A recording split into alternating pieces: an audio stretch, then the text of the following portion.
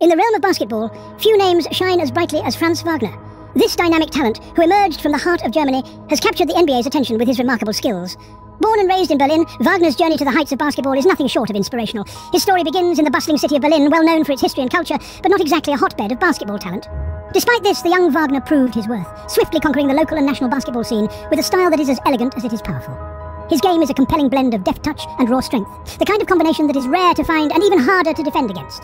His performances on the court are a visual treat, a blend of balletic grace and brutish power that leaves spectators and competitors in awe. But Wagner's story is not just about his basketball prowess.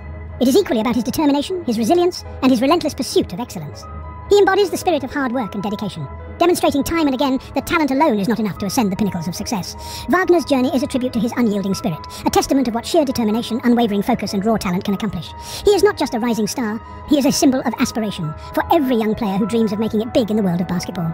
This is the story of Franz Wagner, a star in the making. Stay tuned for more captivating tales from the world of basketball.